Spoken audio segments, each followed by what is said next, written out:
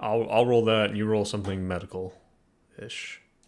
I'll do medicine. I really want to do first aid, but that just doesn't make any sense. Thirty-one Check for over a thirty. Have you checked for a pulse? pulse.